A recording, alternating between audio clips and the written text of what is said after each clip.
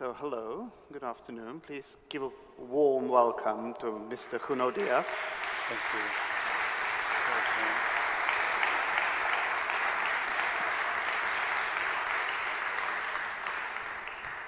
As you might have mentioned, uh, Mr. Diaz is sitting in a very special armchair called the Bookinist armchair. It actually, I was told, I've been told it fits 80 books. And my first question would be sort of unusual, whether uh, you feel comfortable sitting in such a specific, special armchair designed for the book lovers. Thank you. Uh, first of all, uh, I wanted to thank uh, Prague for having me, uh, everyone for being here. I really appreciate it. Thank you for taking the time to be my interlocutor. And uh, to the question, I, have had back surgery, so nothing feels comfortable anymore. You know, so I'm sure this is wonderful, but my back always hurts anyway. You know. you know. All right, we'll try to do better next no, time. No, no. I wish they designed the spine better, but they've not. All right. Okay, uh, Mr. Diaz, we'll start uh, with uh, reading a short excerpt from uh, uh, his short story called Monstro. Uh, and I would ask Mr. Diaz just to read a few pages for us before we start the discussion. Thank you. Um, I, I, nothing much to know. It's a, a, story set in what kind of a genre nerds call the near future. You know, it's a, it's a few years from now, uh, set in the Dominican Republic. That's gone to more hell than most of us are going to hell. And um, again, I, I basically write about dumb relationships all the time, that and dictators. So this is dumb relationships and neoliberal capitalism, which is another dictatorship. So that's it. Yeah. And our narrator, our protagonist, um, has been sent to the Dominican Republic to his family there uh, because his mother has become very sick. Yeah? So he's actually from the States. And um, here we go. Everybody at Brown knew Alex. Shit. I think everybody in Providence knew him. The Negro was a star like that.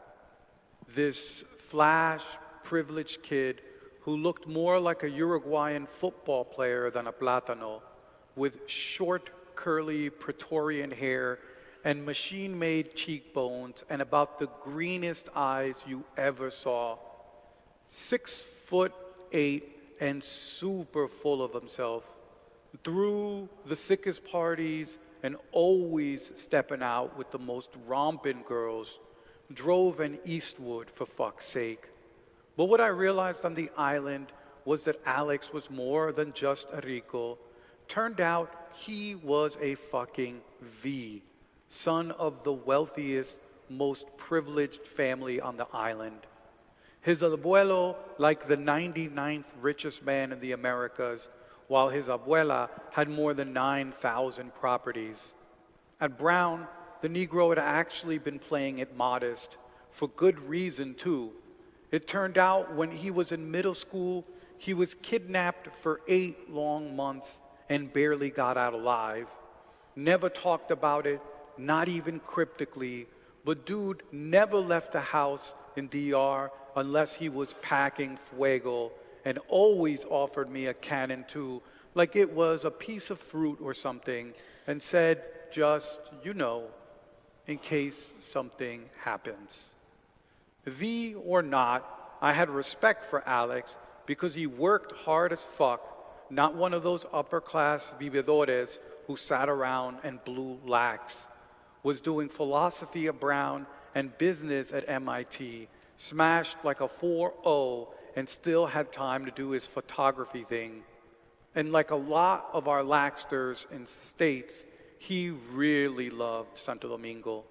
He never pretended he was Spanish or Italian or gringo, always claimed Dominican, and that ain't nothing, not the way Platanos can be. For all his pluses, Alex could also be extra dickish. Always had to be the center of attention. I couldn't say anything slightly smart without him wanting to argue with me, And when you got him on a point, he huffed, Well, I don't know about that. He treated Dominican workers in restaurants and clubs and bars like they were lower than shit and never left any kind of tip. You have to yell at these people or they'll just walk over you, was his whole thing. Yeah, right, Alex, I told him. And he grimaced, You're just a Naxalite. And you, I said, are a come solo, which he hated. Pretty much on his own, no sibling, and his family was about as checked out as you could get. Had a dad who spent so much of his time abroad, the Alex would have been lucky to pick him out of a lineup. And a mother who'd had more plastic surgery than all of Caracas combined, who flew out to Miami every week just to shop and fuck this Senegalese lawyer that everyone except his dad seemed to know about. Alex had a girlfriend from his social set he'd been dating since they were 12, Valentina, but he cheated on her at least 2,000 times with girls and boys. Because of his lacks, she wasn't going anywhere. And dude told me about it too as soon as he introduced me to her.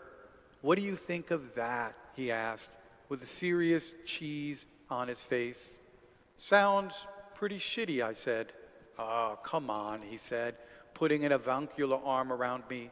It ain't that bad. Alex's big dream? Of course, we all knew it because he wouldn't shut up about all the plep he was going to do. He wanted to be either the Dominican Salgado or the Dominican Silva, minus the double amputation, naturally. He also wanted to write novels, make films, drop an album, be the star of his own channel on the world. Dude wanted to do everything. As long as it was arty and it made him a name, he was into it. He was also the one who wanted to go to Haiti to take pictures of all the infected people. Misty was like, You can go catch a plague all by yourself.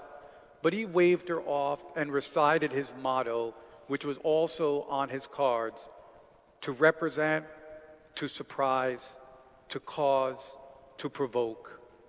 To die, she added. He shrugged and smiled. A photographer has to be willing to risk it all.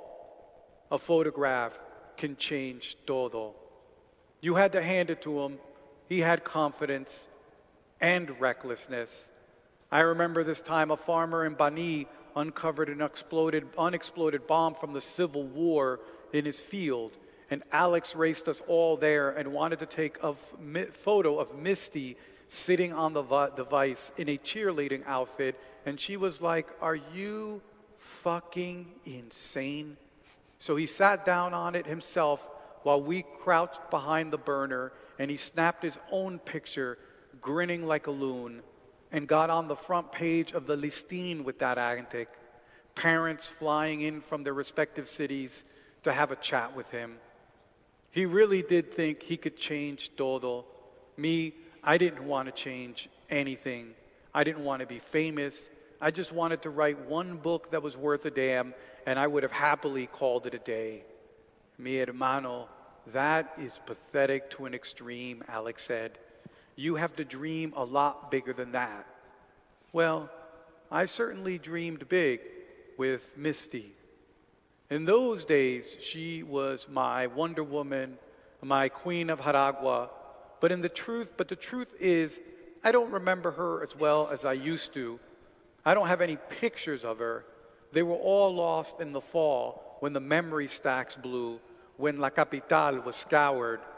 One thing a Negro wasn't going to forget, though, one thing that you didn't need photos for, was how beautiful she was. Tall, and copper colored, an ex volleyball player studying international law at UNIBE with a cascade of black hair that could have woven 30 days of nights from. Some modeling when she was 13, 14, definitely on the receiving end of some skin crafting and bone crafting, maybe breasts, definitely ass, and who knows what else, but would have rather died than to cop to it. You better believe I'm pura lemba, she always said. And even I had to roll my eyes at that. Spent five years in Quebec before her mother finally dumped her asshole Canadian stepfather and dragged her screaming back to La Capital, something she still held against the Vieja, against the whole DR. She spoke impeccable French and used it every chance she got. Always made a show of reading thick ass French novels. And that was what she wanted once her studies were over to move to Paris, to work for the UN, to read French books in a cafe. Me, oh, men love me in Paris, she announced. Like this might be a revelation. Men love you here, Alex said. Misty shook her head. It is not the same. Of course, it's not the same, I said. Men shower in Santo Domingo and dance too. Have you ever seen Francesa's dance? It's like watching an epileptic convention. Misty spat an ice cube at me. French men are the best. Yes, she liked me well enough. Could even say we were friends. I had my charming in those days. I had a mouth on me like all the swords of the Montagues and Capulets combined, like someone had overdosed me with a truth serum. You're Alex's only friend who doesn't take his crap, she confided in me once. You don't even take my crap. Yeah, she liked me, but she didn't like me, entiendes? But God did I love her. Now, I think Probably about enough, yeah? It goes on in such a dreary fashion, but we'll leave it here, yeah? Thank you. Oh.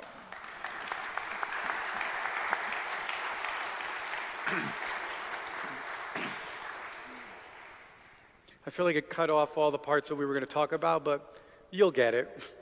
Hopefully. so, inevitably, my first question would be how does the story end? How does it evolve and how does it end? Yeah, I, it's sort of a, a, a kind of a apocalyptic story where you have these kind of dumbass kids who are just doing what certain kinds of dumbass young people will do. They're sort of just chasing each other and kind of in some ways being frivolous while the world that they're living in, this island that's divided between the Dominican Republic and Haiti, is completely collapsing.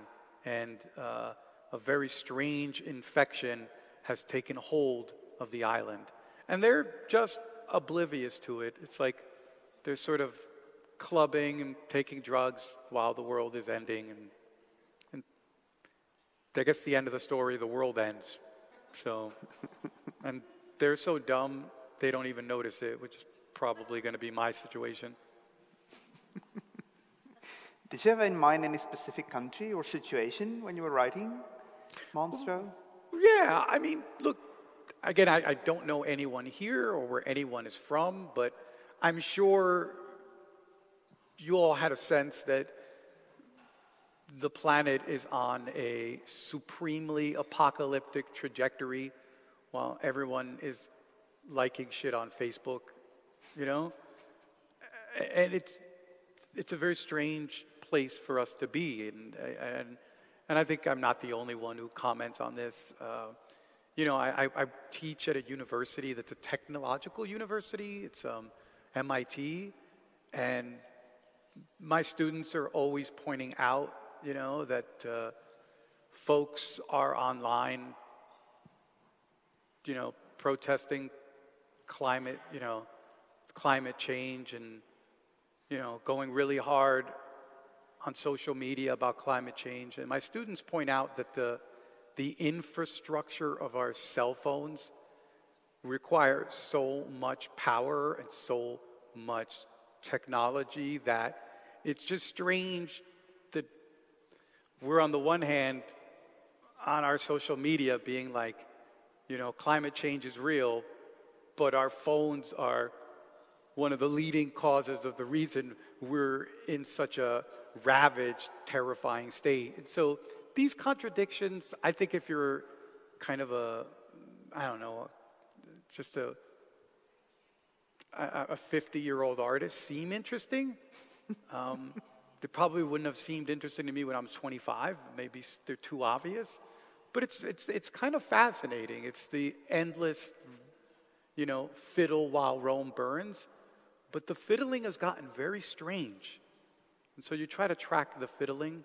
And I, I kind of, again, I know this is silly, but uh, if you're from the Dominican Republic or Haiti, that island has been the site of so many apocalypses.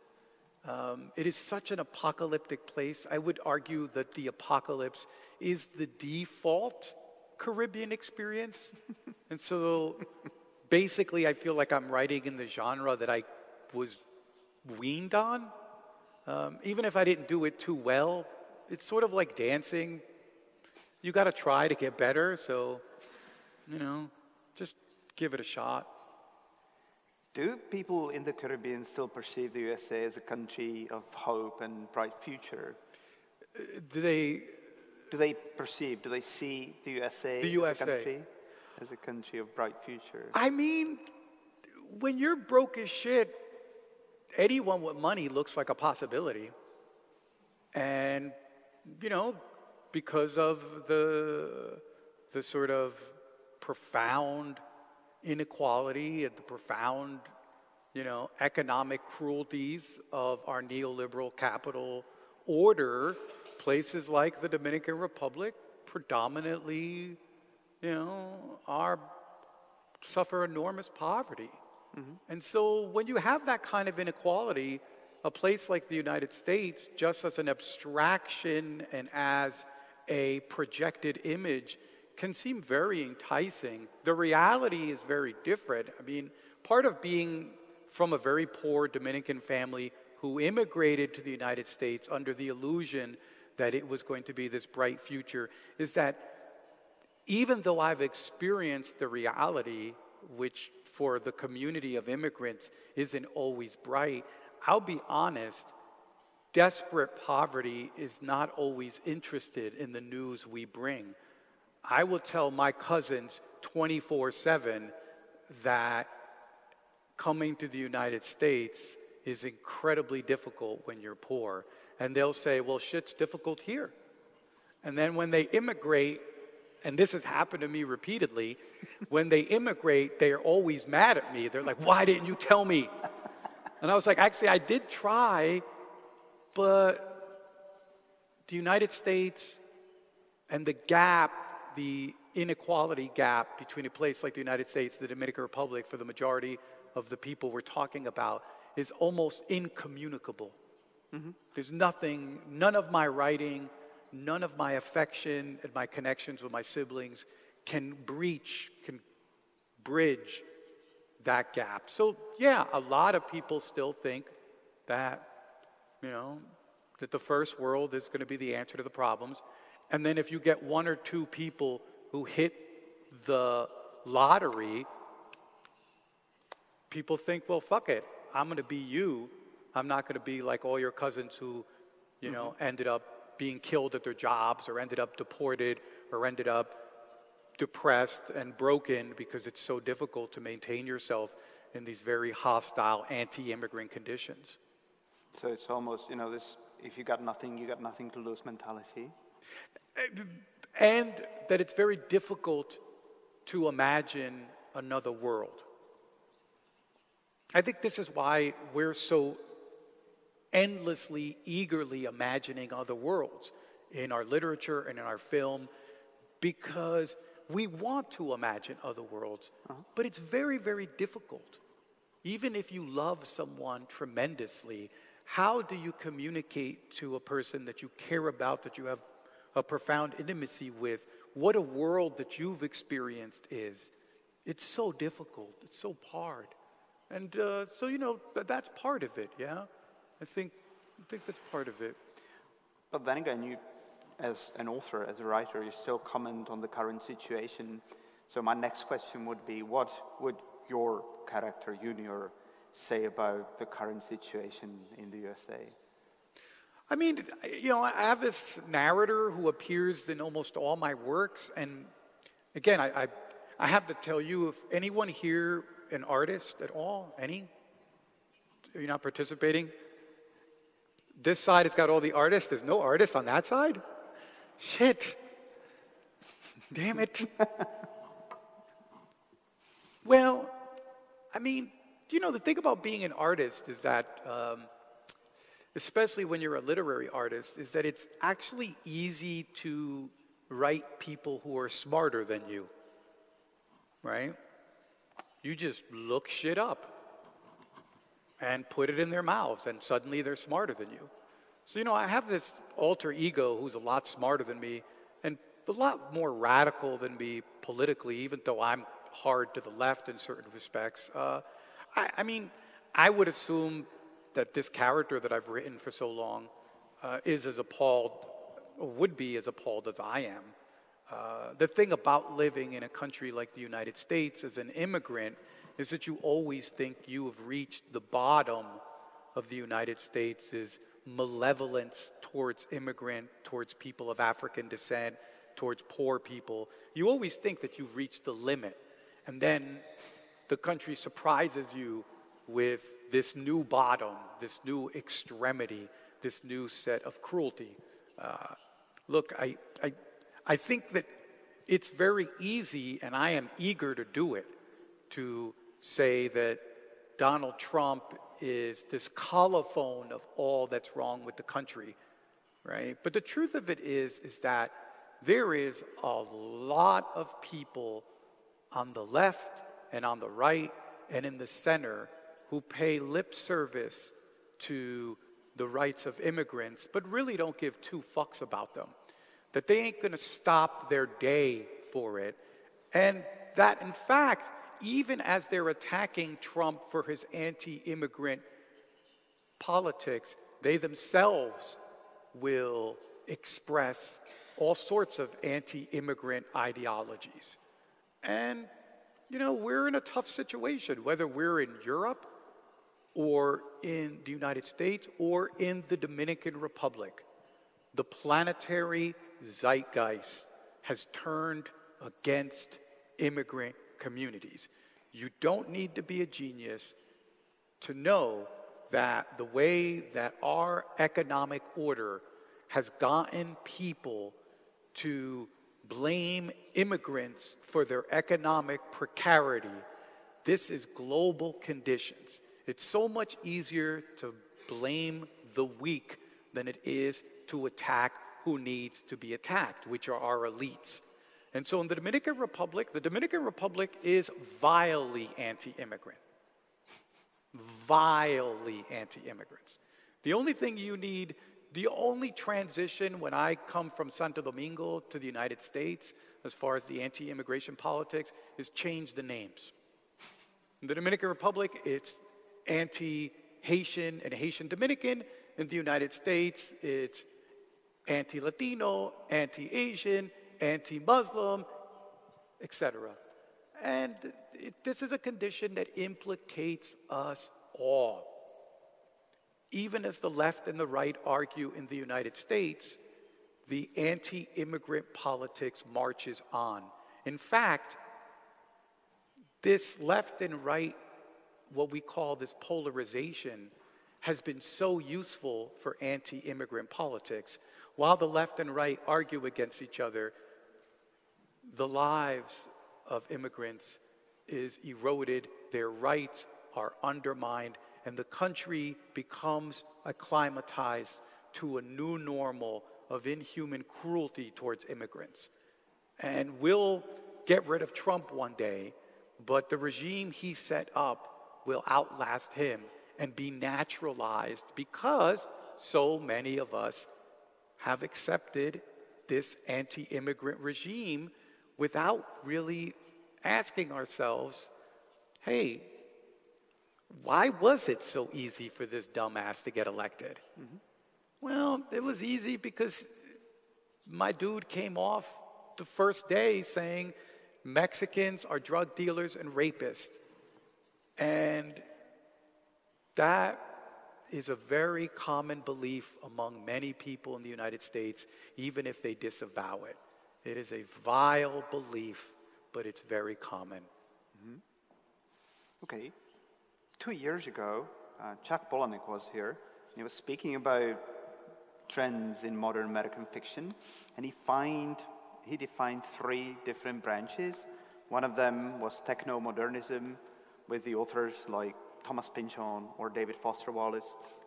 The other, another was, you know, this dirty realism with the likes of Raymond Carver, and then multicultural plural, pluralism with minority literatures, where he actually specifically mentioned your name. So my question would be, do you agree with that division, and do you feel like a part of, you know, multicultural pluralism with minority literatures? I guess my question is, where did Chuck put himself? Uh, well, he actually, uh, that's, that's a very interesting thing. I don't think he classified himself as any of those three That's useful. boxes. That's very useful. Uh, I actually almost find, I, I actually don't really believe that is useful. Um, look, any partition of something as ungraspable as literary canon is, I would argue, profoundly, clearly profoundly political, right? But also perhaps myopically political. Um, I'm sure you read an enormous amount. Well, it That's used a to be yes. better. Yeah. It used to be better, yeah. Well, it's always better. But I'm sure you read an enormous amount. It used to be better for me. I read an enormous amount. I, I'll reveal how much I read because my Kindle keeps track of it. I read, on bad weeks, I read two books a week. Yeah, that's bad weeks. On good weeks, I'll read four books a week. I consider myself a high level reader. I have not even approached 0.1% of the novels published in America. I have no idea how one could divide a literature that you have not read. Now, if some of you have read every novel published over the last 40 years, I would love to hear what you think is going on. I can tell you if people are asking, how do I think of myself into what tradition, I'm, I might not look at. One thing about being in Prague is I'm always, everyone thinks I'm Moroccan, which is great, you know. uh, but I'm actually a person of African descent, yeah, on both sides of my family. Uh, and I see myself in the sort of literary stream of the Caribbean, African diasporic letters, uh, you know, the Latin, Latin American community, you know, Latinx literature. Yeah, I'm from New Jersey. I think of myself as New Jersey. For me, I just think that that kind of partition with passe Chuck, you know, with apologies to Chuck, I'm sure he meant something a little bit, I'm, I'm assuming he meant something a little bit more nuanced. But the problem with that partition is that it seems to deny what's really true about any artist is endless simultaneity. That you are multiple things at any given moment. That there are writers who are multicultural pluralists who do dirty realism and techno futurism and 30 other things besides. um, so I, I don't know. I, I, I think of myself in that, but you must remember, and I'm sure you all know, that the question of how one defines themselves as an artist is an endless and ongoing debate. All of you have lived long enough to know that um, people spend all day trying to put you into a box. They're not doing it only because they're cruel, you know, but people tend to be very shorthand. They're like, you're this, you're that, and you keep thinking, I am more than a mother, I am more than a father, I am more than a partner, I am more than a literary writer. Our simultaneity and the endlessness of our identity is a far better definition of who we are than any of the categories that we've come up with, which are, I would argue, reductive. If a category doesn't permit more options, it's reductive. And so a category should open up the possibility for more. So that's how I think of it. Hopefully, when I'm dead, people will at least be like, you know, one hopes they will at least be like, this motherfucker was from New Jersey, this motherfucker was Dominican. Like, you just want that. That's my dream. But you probably won't get that. In the future, they'll be like, he was in some sort of weird chromosome that they're going to be thinking is the key identity. Who knows? The future has its own uses for the present, which none of us can divine. Well, Monstro is set in the future, uh, in very near future, and it's not a bright one. And there's a song by a German alternative band called Einstürzende Neubauten, where uh, they claim that a future isn't bright, well, at least it's colorful. Would you agree? In the Caribbean, that's definitely true. Allow me to say, of all the kind of ridiculous stereotypes about the island I'm from, I will at least on the face accept we're very colorful. Just literally, there's a lot of color. Um, it's an interesting thing, yeah, uh, because, you know, one of the, the claims that uh, gets attributed to Jameson, but it's been kind of hard to see if Jameson's the one who really said this exactly. Is this idea that, you know, um, people's inability to imagine the end of capital is the reason people are always trying to imagine these kind of dark futures. I, have already butchered it as usual. Um, I just think, you know, our writing about the future is to write about the present. And every generation prides itself in being in a very dire place.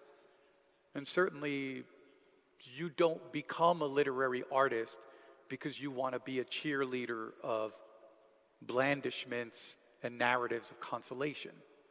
You become a literary artist because you're trying to express things that the general society disavows and part of what the general society tends to disavow are a lot of the violent cruelties and what lies beneath the sort of banal cheerfulness of bourgeois society, among other things. I think our future, you don't need to be a scientist to know, humanity's future is looking very troubled indeed. You know, if you're rich as shit, it's looking real bright in this system. But for the rest of us, it's looking very, very dire. Whether we're interested in incorporating that into our sense of ourselves and our sense of our communities in a way that doesn't demotivate us and depress us, but invites new forms of civic engagement, is that's still up in the air. Yeah, I don't think looking at a glass or a coffee cup and pointing out that the coffee cup is broken is a negative thing. In America, if you point out that something is broken, you're considered negative. Where in the Dominican Republic, if you point out that something is broken, in the general, you are considered somebody who wants to fix a coffee cup.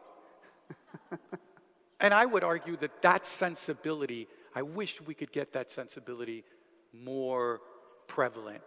That just because we point out that shit is fucked up doesn't mean you're negative. That actually, for me, that's the highest form of optimism because you're arguing that things could possibly be fixed. People who need to lie about this thing being broken to keep their cheerfulness going are not optimists. That's not optimism. Optimism is being able to see something broken and saying, we can fix this, not pretending the thing isn't broken. So that's the way I'm thinking, you know? So the motto of this festival, of this year's edition, is Beauty Will Save the World. And for Yunior, uh, at the end of this short story, Monstro, uh, beauty actually stands behind his possible end because he decides to stay uh, in the Dominican Republic for Mysty, for the love of his life, even though he knows that um, the apocalypse is actually coming. So, do you really think that beauty will save the world? Yeah.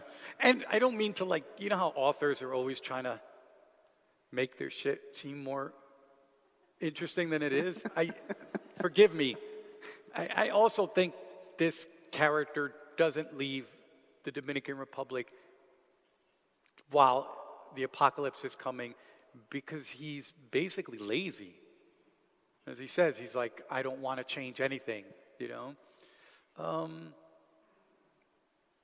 I mean, with that said, look, I'm a big Lord of the Rings person. I find Lord of the Rings very interesting for all of its problems, of all of its faults. I find it very interesting. And there's a moment in Lord of the Rings for the people who don't know this book it's a fantasy novel. There's a moment in this fantasy novel where the main female, there's only like three female characters in the whole book, but one of the female characters uh, is offered this ring of great power, and she says, Ah, yes, if you give me that ring, you know, if you give me that ring, I will be this glorious, beautiful tyrant all will love me and despair. And I never forgot that. Beauty can be mobilized by the forces of horror quite as easily as beauty can be mobilized by quote unquote people who want to make this a more just world. For me, it depends on what we talk about. Um, in my mind, what is beautiful is solidarity. You know?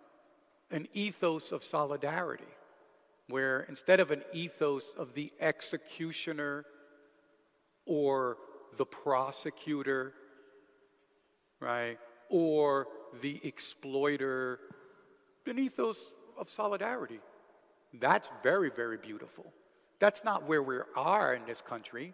I mean, the country where I'm, the countries where I'm from. Solidarity is being undermined from every corner. Everyone's being told to fight each other. And we all have good reasons, supposedly, to fight each other. But if anything has happened in the last 20 years, is that what we precisely need, solidarity, is the very thing that's been undermined in every single sector, in every single community. For me, that's a great beauty, solidarity. That could save the world. Mm-hmm.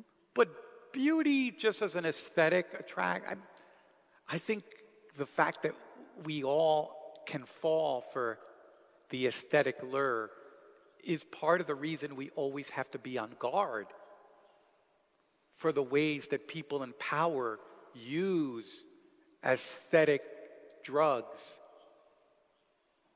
to addict us.